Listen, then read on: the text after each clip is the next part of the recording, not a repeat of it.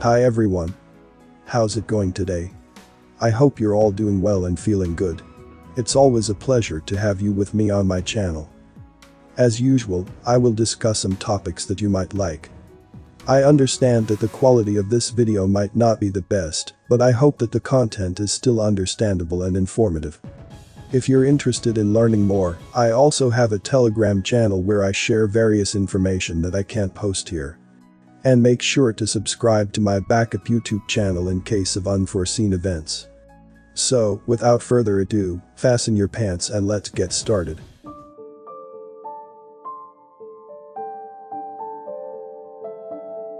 Out there, the freezing rain settles crystals on the high snow, and in the trees and dens, the animals are warm and dreaming. Inside, the people in their homes hope to heavens they don't have to go out in that because life is hard enough without sliding and slipping and skating on treacherous grounds. The Western world is navigating treacherous grounds now. Treachery seems a likely word, the breaches of trust from Western government sitting hollow on our hearts. How different it might have been if the ones who orchestrated this new world had simply told the truth. Truth being the cornerstone of trust which they seem to be so intent on rallying around now.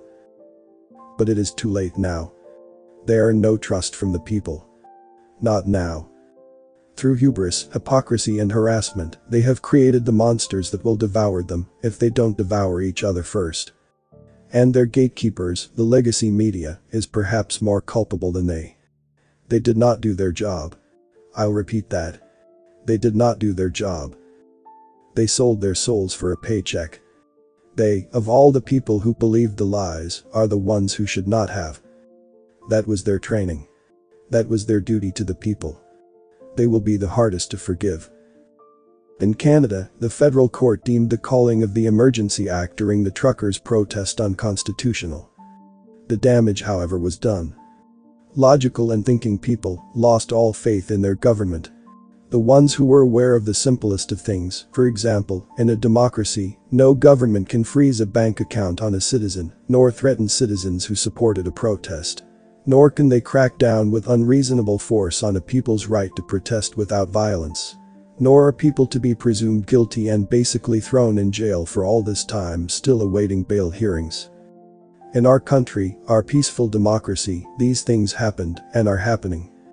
And if you are not aware of these things, then the legacy media is to blame, to which they can only answer with, we were bought and paid for, or we were grossly incompetent. They can have no other answer. They will argue perhaps that they thought they were doing the right thing to save the earth and bring in a bright new world. No. They were not. They were participating in and overseeing a terrible divisiveness which hurt people. Even if the earth is in terrible trouble, this is no way to treat your fellow human beings. There is no justification for that. Not ever. And for those who supported this gross treachery, yes, you are the baddies now. Before I continue the video, please give a like if you learned something. Also, don't forget to subscribe and click the notification bell so you won't miss any update. Finally, watch until the end to avoid any misunderstanding. Thank you. In the UK and Australia and elsewhere, the powers that be are now outwardly speaking about a possible draft of citizens to go to war. Why would we fight their foreign wars while leaders are busily dismantling all the reasons people might actually go to war for? Why would we fight for democracy in another country when leaders are unraveling our democracy at home? Why would we fight for Western values of freedom when leaders are taking it away from us, particularly freedom of speech? Why would we even fight for our homeland when we hardly recognize it anymore with all the governmental shenanigans that have been going on? Fight your own wars. The trust is broken. You will be hard pressed to find people to willingly fight your wars now for your insular vision of the future. The leaders of this world need to leave the people alone. You've done nothing but damage. You have given tokens for titanic demands and hardships. And I fear, if anarchy and chaos was what you were ultimately looking for in this divisiveness, no doubt you will get it. Congratulations on that.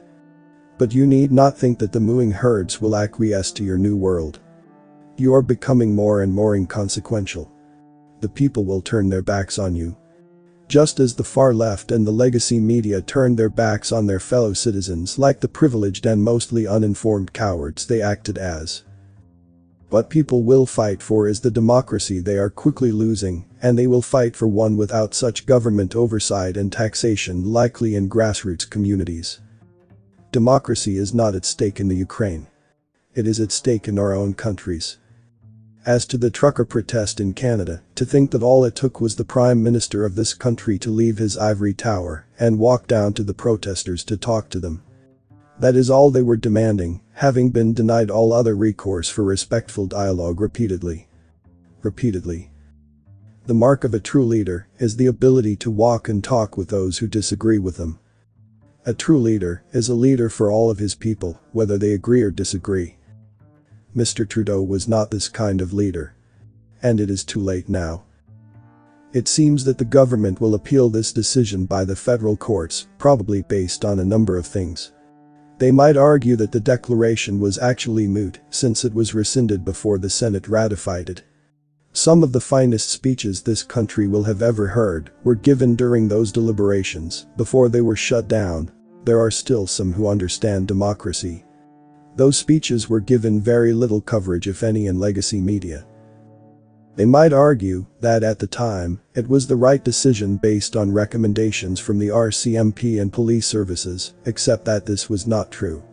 That was proven. They cannot argue that there was widespread violence. They cannot argue that this was a threat to trade, given that the border blockades were removed before their Emergency Act declaration. They cannot argue that the truckers were unvaccinated and a threat to public health, since the majority of them were vaccinated. They cannot argue the facts that are in front of them. They can only perhaps plead ignorance. They didn't know. And why didn't they? If not intentionally planned, perhaps that happens when you don't engage in dialogue, either through imagined fear or hubris, and the media doesn't do its job. The meek scuttling of legacy media reporters along the sidelines of the trucker protest with chosen guests in a rush does not constitute journalism. Now, it's time for me to hear from you. What are your thoughts on this video? If you found it interesting or informative, please consider giving it a thumbs up and sharing it with your friends and family. Remember, the more people know about these important topics, the better. Before we wrap up, I want to extend a huge thank you to all the individuals who dedicated their time and energy to research and gather the information presented in this video. Their efforts are truly commendable and have helped shed light on important topics that affect us all.